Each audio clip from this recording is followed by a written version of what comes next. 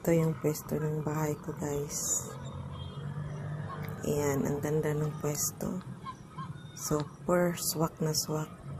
Yan yung daan, straight. Din sa harap din ng bahay.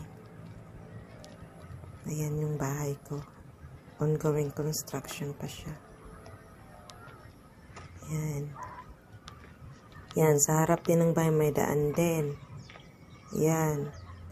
Tapos doon din sa likod,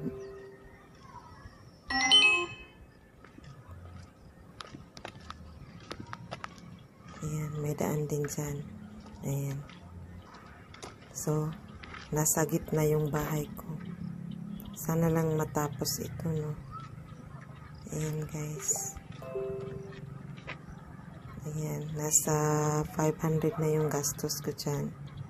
Yan pa. Pero sa 500 na yan, kasama na dyan yung tubig, ilaw, ah, at saka yung building permit ko. So, ayan guys. Sana lang may awa si Lord. Natapos ko to. Paunti-unti.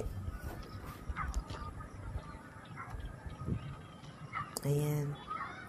So, ayan guys. Thank you so much. Update na naman next time.